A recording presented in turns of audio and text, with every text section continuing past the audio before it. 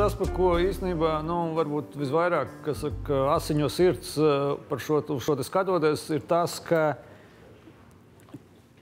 pateicoties šim Latvijas sabiedrības un valdības tik neprasmīgajam darbam pēdējā gada garumā, tagad laikā, kad visa Eiropa jau normāli ir atvērta, visi jau normāli strādā, visi jau normāli pelna, visi jau normāli attīstās, iet uz skolu, sporto, dara biznesu, atgūstās. Da? Mēs sēdēsim un dedzināsim aizņemtu naudu, sēdēsim visu ciet.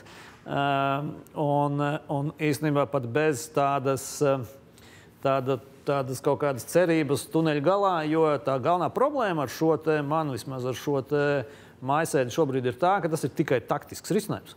Tas ir tikai taktisks risinājums, lai uz šo īso brīdi kaut kā saglābtu slimnīcās to, to, to pārslodzi.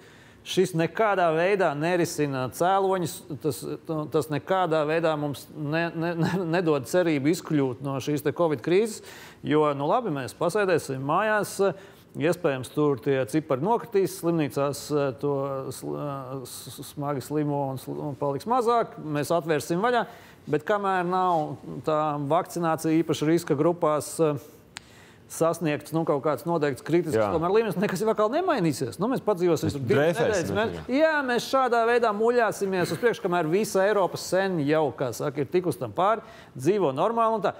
Un tas, kas šī vakardienas valdības lēmumos man tādā ziņā nu, ir visnepatīkamākais, ne jau tas, ka tur uh, pasēdēt mājās, vai pat ne kaut kādi pilnīgi debīli lēmumi par to, to komandu stundu no astoņiem, kas nevarēšu uz sunu iziet. Ja? Nu, nu, Labi, es, es varētu to visu vēl kaut kā saprast. Ja? Tā galvenā problēma ir tā, ka tur vispār nav neviena vārda par to, kā mēs strateģiski risinām šo situāciju. Mēs strateģiski zinām problēmas.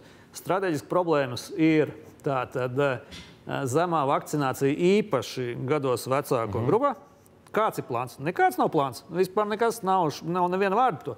Otra problēma, tātad mēs zinām, ir, ir īpaši ir krievalodīgie un, un krieviski runājošie, un visi šie, kuri ir mazāk vakcinēti, vairāk attiecīgi slimo, kur izplatība lielāka, kur attiecīgi neviens neko mazāk nejūt. Kāds ir plāns, lai uzrunātu šo problēmu? Nav mhm. nekāda plāna, neviena tur, teiksim, vārda. Ja?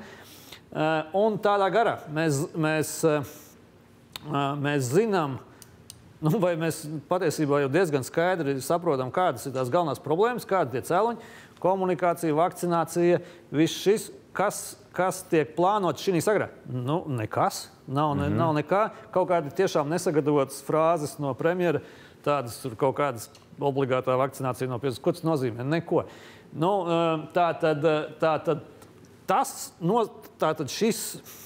Šo iemeslu dēļ, ka mums šobrīd valdība piedāvā tikai taktiskus īstermiņa risinājumus, Nav nekāda nu, skats uz nākotnē, arī pesimistisks. Pēc visas spriežot, mēs šādi nu, pasēdēsim tagad mēnesi, vēl mēnesi, vēl kaut kā.